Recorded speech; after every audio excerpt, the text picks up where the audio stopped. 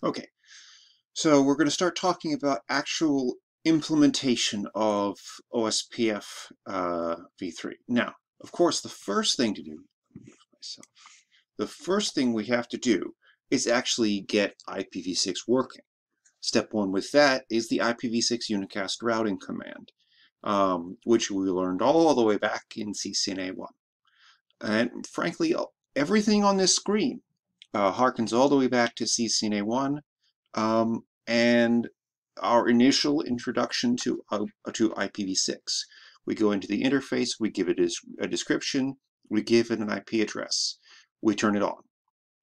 Once that happens, um, we can um, keep going further. Now, the one thing that is not on the screen that is kind of in the topology diagram, but not in the uh, command configuration uh, e example is the link local address. Uh, there's a couple of things you should do here to minimize your confusion. You might be tempted, um, if you're thinking about link local addresses the same way you think about uh, globally unique addresses, to say, for example, on gig 00, do FE80 colon colon 1 on serial 000 do FE80 colon colon 2. Uh, do, on serial 003 FE80 colon colon 3. That's the wrong approach to take with this.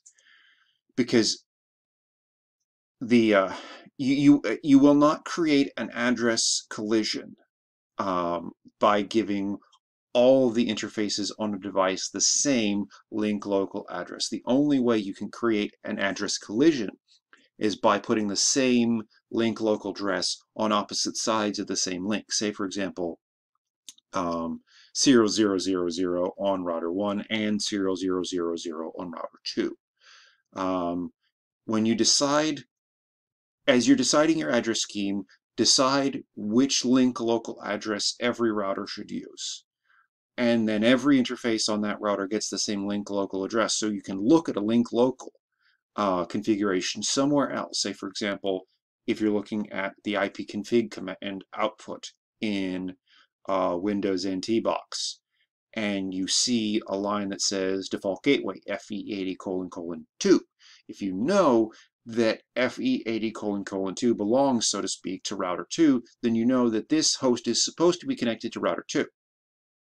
Now, if that host is not actually connected to router 2, that's a chance for you to catch a configuration mistake on your part. Now, um, so let's talk about the steps uh, in general terms to configure OSPF v3.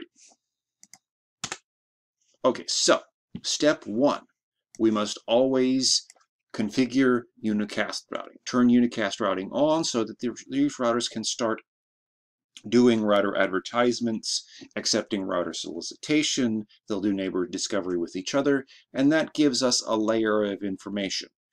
Uh, remember, uh, because OSPF v3 um, has neighbor adjacency and IPv6 has neighbor adjacency, and there's link 2 or link, uh, link layer neighbor adjacency with either um, CDP or LLDP, that's three separate chances uh, three separate data points that you can use to troubleshoot um, a missing neighbor adjacency in OSPF v3. So turn them all on. Uh, make sure you can use all the tool kit tools in your kit um, unless you have a very good reason to not use them. Say, for example, you're on a on a network that you don't want to allow, you want to make uh, lateral movement and network discovery as hard as humanly possible, you might turn off CDP or LLDP so that someone who compromises one of your devices can't use that fact to compromise others without a fair amount of guesswork. So, step two, uh, set up a link local address. Technically speaking, this is optional. Um, if you don't give it a link local address, it will make one up. Um, and we actually saw that you, if, if you've watched the demo, for uh, 3 dot, uh, for 8336, that lab, you'll notice that one of my routers, when I did um, show uh, IPv6 interface brief, uh, two of my interfaces had a configured link local address, FE80 colon, colon 1. One of my addresses had a much longer link local address, FE80 colon colon, and then a bunch of stuff. That bunch of stuff was generated dynamically by the device using the EUI64 process. So you don't have to, but it is a really good idea to do so. So you can then provide that information to your clients. You give your clients a link local gateway, a default gateway configuration, so they can't accidentally try to use the wrong router as the default gateway. Um, and then, more to the point, if you change the addressing of your gateway itself, you don't have to change everything. Um, okay, you do absolutely have to configure a 32-bit dotted decimal router ID in router configuration mode. This is essential um, on a router which is only speaking IPv6. On a router which is also using IPv4, if you don't give it a router ID, it will pick either the IPv4 router ID or one of the other one of the other IPv4 addresses you've got configured on the device, either a physical address or a loopback. Bottom line, configure it yourself so you so there there should be a meaningful relationship between uh, the identity of the router um, and the router ID. That should be in your documentation. There might even be a, a meaningful relationship between your the, the identity of the router and the router ID and the link local address you're using on that router. Give yourself as many data points as possible that you can correlate, uh, that you can put together as you're troubleshooting the problem to realize, wait a minute, that doesn't look quite right. Um, so you can also configure optional specifics like your reference bandwidth. Um, you can set up your OSPF interface settings, interface bandwidth, reference bandwidth, all that kind of stuff. We uh, all the things we talked about um, in uh, lab 8245 and I've talked about in, in the OSPF v2 section. All of that uh, comes into play here as well because fundamentally it is the same routing protocol. Um, it handles reference bandwidth the same way, it handles costing the same way, it generates the same kind of, SP, uh, of SPF tree, link state database, etc. I mean, the definition of convergence hasn't changed. An OSPF uh, v3 area is converged when all the devices in the area have the same LSDB, just like OSPF v2.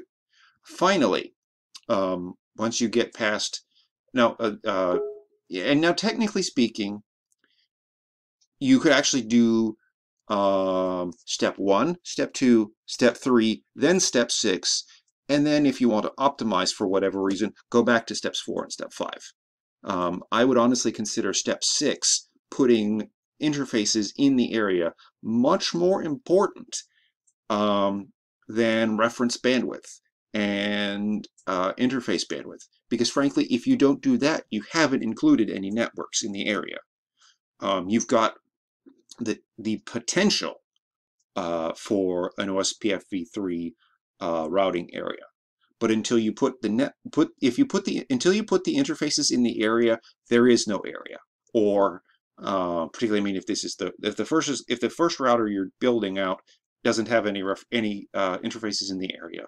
Or worse, if all the routers you're trying to build out don't have any interfaces in the area, you have the potential to form something, but nothing real.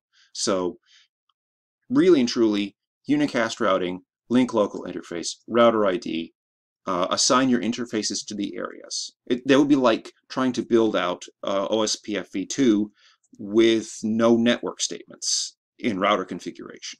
It's got nothing to advertise and not, nothing to advertise through, which means it's got nothing to say and no one to talk to. You're not going to have much of a conversation if no one... It, imagine everyone sitting around a table saying nothing. That's going to get boring fast, and it's not very uh, productive. So let's talk about verification a little bit. Okay, so we're going to verify our addresses on the interfaces uh, that you actually saw me doing this um, if you watched the second half of the 8336 um, demo. I made some typographical errors, some minor um, mistakes in my implementation, and I troubleshot some. I used some of these tools in my troubleshooting. I noticed that hey, I don't have a link local, and then I noticed that hey, I gave the wrong prefix um, to my host. So, uh, like I said, these link local addresses are created natu- uh, automatically. Um, and I mentioned the EUI64 process. The dead giveaway for EUI64 is this character sequence smack in the middle of the address of the interface ID. FFE. Sorry, FFFE. Basically, it takes an FE80 colon colon 10 prefix. It takes your 48-bit MAC address for the NIC, and it transforms that into a serial line. Um, sorry, it not it doesn't run that forward into a serial line. That's sorry, wrong thing, forget I said that.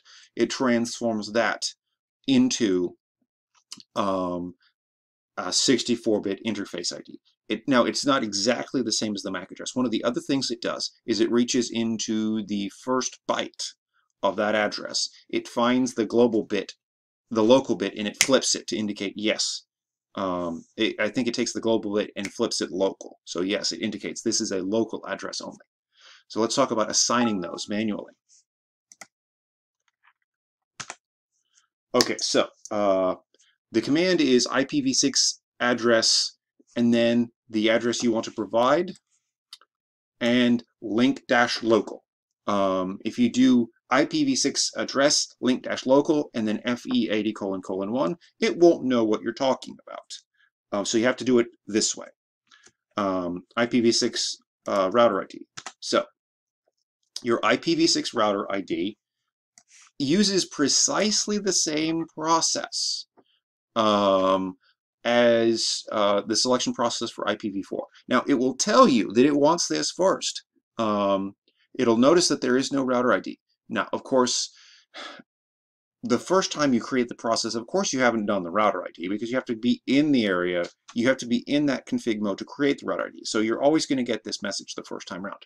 So you do router ID 1.1.1.1 or 2.2.2.2 or 33.33.33. Um, so usually, as as with uh, IPv4, uh, if there's a 32-bit router ID configured, that takes effect. If that's not, if there's a loopback, that falls into place. If there's neither a router ID nor a loopback, if there is an IPv4 interface, that'll work. Um, and if none of those things happens, you'll get this message at the end of the pro at the end of the thing. So let's talk about modifying that right quick. Um,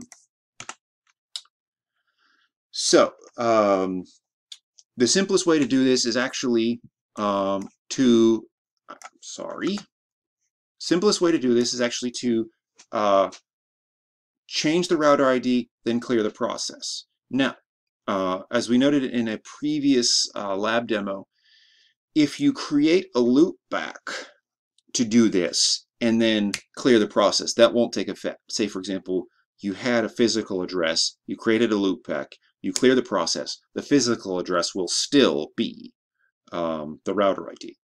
Um, you'll literally have to reload the device, copy, run, start, then reload for this kind of, for a loopback to take effect. But if you do the router ID command specifically, then you do clear IPv6 OSPF process, it will it, it will restart the OSPF process without loading everything. What it will do is it'll take the process down, it'll break all the neighbor adjacencies, it'll bring it back up, it'll reestablish them, it will reconverge, it will rebuild the routing table, and it'll know who is what its router ID is. So let's talk about, uh, in the next video, I'll talk about implementing OSPF on these interfaces. Be right back.